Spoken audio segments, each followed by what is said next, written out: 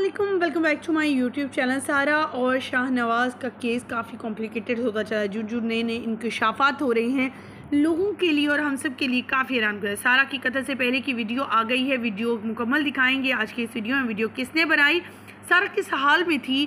सारा की night dress में वीडियो लीक जिसने सोशल मीडिया पर तहलका मचा दिया है। सारा के कत्ल करने, कत्ल होने से पहले मोबाइल डेटे पर आखिर क्या ऐसा मौजूद था जो शाह नवाज़ ने उसे रिमूव करना चाहा? क्योंकि वो जानता था, अगर ये चीज़ें सामने आ गई तो वो तो बुरे तरीके से फंस जाएगा। वालदेन तो उसे बचा भी नहीं पाएँगे। आज की इस वीडियो में मुकम्मल आगाही देने जा रहे हैं। इस केस के हवाले से न्यू अपडेट भी शेयर करेंगे और शाहनवाज जो है, कितना क्रिमिनल है, क्या कुछ नशा करता है और बहुत सी चीज़ें जो सामने आ रही हैं, वो अपडेट करने जा रही हैं। इसलिए वीडियो को विदाउट ये वीडियो को लास्ट तक देखिएगा, ताकि आपको मुकम्मल आगाही हासिल हो सके। चंद दिन पहले शाहनवाज जो है, बड़ा ही सेठ हाबत बना फिर रहा था। बड़े ही मुश्किलें थे इसके। गाड़ियाँ ली जा रही थी, बंगले बैलेंस ले रहे हो। किसके पैसों पर ये इशाचियाँ हो रही थी? अपनी बीवी के पैसों पर। बीवी तो इन तमाम चीज़ों से बेखबर थी क्योंकि वो जॉब में फंसी हुई थी। उसे रोज़ जो है या हर पंद्रह दिन बाद फ़्लाइट लेकर पाकिस्तान आना पड़ता था। और ये शख्स हर बार ही पासपोर्ट वहाँ पर एयरपोर्ट में मौजूद नहीं हो जिससे पर इसे काफ़ी ज़्यादा हैरानी फिर गाली गलोच पर ये उतर आता है। ना सिर्फ़ गाली गलोच सारा के साथ की जाती है, बल्कि इसकी वालदा के साथ भी काफ़ी बुरा भला सलूक किया जाता है। लेकिन यहाँ बात करने जा रहे हैं मेन पॉइंट की कि आखिर नाइट बड़ी ड्रेस जो उन्होंने पहन रखी है, सारा ने उसका पीछे क्या राज है, कौन सी ड्रेसेस जो हैं सारा के मिले कमरे में, किस हालत में थी और कैसे? आवाज़ क्यों नहीं आती रही? मुलाजमीन का क्या कहना था? मुलाजमीन जो वहाँ की मुलाजमत कहती थी, मुझे ऐसा लगता है जैसे मेरी बेटी मुझसे खो गई हो, क्योंकि सारा मुझे अपनी बेटियों से भी ज़्यादा अज़ीज़ थी, जो गरीबों की मदद करती थी, एक बार कोई तकलीफ़ होने पर उसे लाखों रुपये दे जाती थी। लेकिन सारा ने अब जो है एक, उसके हवाले से एक ही काम है कि हमें सारा को जस्टिस दिलवाना है और इसके कत्ल में जितने भी लोग मौजूद हैं, उन सबको जो है फांसी के फंदे में पहुंचाना है। क्योंकि सारा के वालिद का भी यही बयान सामने आ चुका है, सारा के वालिद का कहना है, शाहनवाज जो इस केस में मुलजिम है, उसे सख्त से सख्त, कड़ी से कड़ी सज़ा, जल्द से जल्द दी जाए। क्योंकि कहते हैं ना जस्टिस डिले जस्टिस डिनाइड तो इसी तरह इस केस में मिला हो जाए।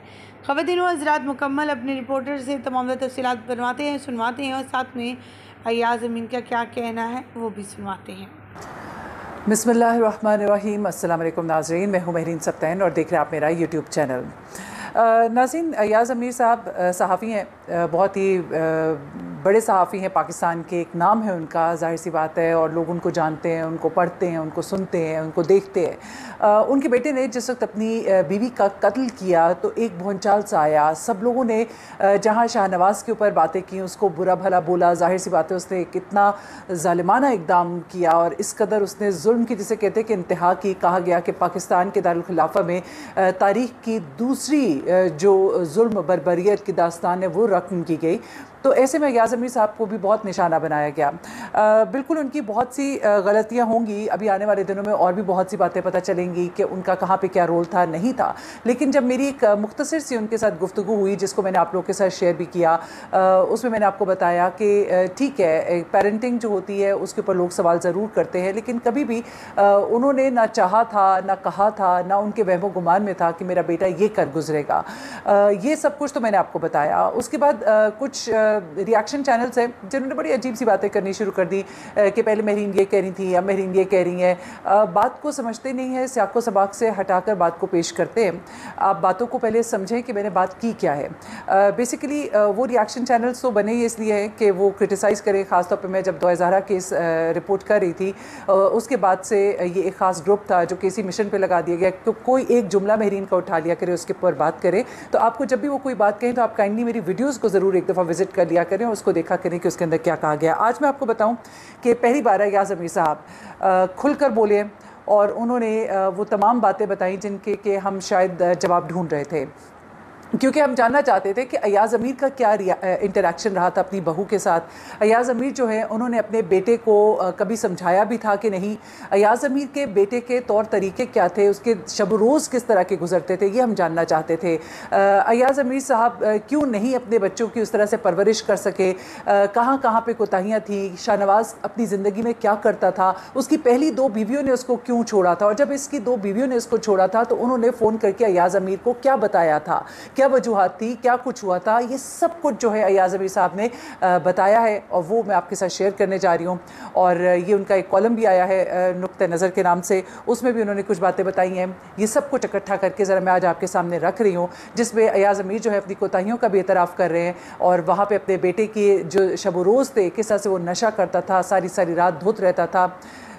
इंटरनेट की जो दुनिया है उसके अंदर वो हर वक्त धुत रहता था। इंटरनेट की दुनिया में उसका सिर्फ़ एक ही काम होता था, वो काम था कि वो दोस्तियाँ करे और क्या कुछ करे, सब चीज़ें अयाज़मी साहब ने बताई हैं। उससे पहले भी मैं आपको एक और चीज़ बताती चलूँ, क्योंकि लोग थोड़ा सा चीज़ों को कन्फ्यूज़ कर देते हैं। अयाज अयाज़मी की जो वाइफ है, वो भी पहली बार मीडिया पर आई, मैंने गुजशत वीडियो के अंदर बताया कि उन्होंने आकर बताया कि क्या वजह थी कि वो अपने बेटे की और बहू की लड़ाई की आवाज़ें ना सुन सकी। यहाँ तक कि उसने उसको कत्ल कर दिया, क्योंकि वो अपने कमरे में रात को सो गई थी। उनका कमरा घर के एक एक्सट्रीम कोने में है, जबकि बेटे का कमरा घर के दूसरे एक्सट्रीम कोने में उन्होंने एक नक्शा भी जो है वो पेश किया और नक्शे में उन्होंने बताया कि मामला किस तरह से उनको मतलब ये सब कुछ हुआ कैसे, वो क्यों नहीं सुन पाई, क्योंकि उनके ऊपर बहुत सवाल उठ रहे थे कि वो वहाँ घर में मौजूद थी तो उनको क्यों नहीं पता लगा कि घर में हो क्या रहा है।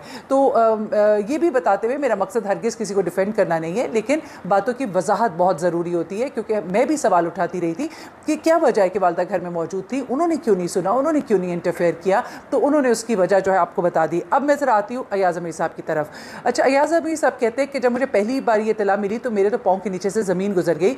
आ, मुझे ये गुमान हुआ कि शायद वो ज़ख्मी होगी और इसीलिए मैंने फ़ौर कहा कि फ़लाँ जगह पहुँचिए चंद लम्हों में अलबत् मौत का पता चला तो जैसे ज़मीन पर अंधेरा सा छा गया हो। ये उनके अल्फाज हैं। मैं इसलिए बयान कर रही हूँ कि आपको आइडिया हो कि वो क्या कहना चाह रहे हैं क्या बताना चाह रहे हैं। अच्छा फिर वो कहते हैं कि अल्फाज नाकाफ़ी है बातें फजूल हैं। एक दो दफ़ा ही मिला था। इतनी खूबसूरत, जहीन और मासूम लड़की अपने कमबख्त को उसके सामने कहा था, तुम इसके काबिल नहीं, लेकिन काबिल होने की कोशिश करो। अब सोचता हूँ कि कुछ और भी कहना चाहिए था। जहन में ख्याल उठते हैं कि अगर ऐसा हो जाता तो ये ना होता। फला चीज़ हो जाती तो शायद ये दिन देखना ना पड़ता। इंसान अपने बारे में सोचने लगता है कि मुझसे क्या गलती हुई। कौन सा मेरा करना था, जिसका असर औरों पर पड़ा? अपनी गलतियाँ तो होंगी, तरबियत की गलतियाँ होंगी, लेकिन कभी ख्याल न जाता था कि ऐसा भी हो सकता है। एक तो मासूम जान का ज़या और ऊपर से उसके ख़ानदान को जो सदमा सहना पड़ा। इस मासूम जान ने क्या किया था? उसके माँ बाप ने क्या किया था कि उनको ये दिन देखना पड़ा? अपनी गलती जिससे इनकार मुमकिन नहीं, ये थी कि ख़ानदान इकट्ठा न रह सका।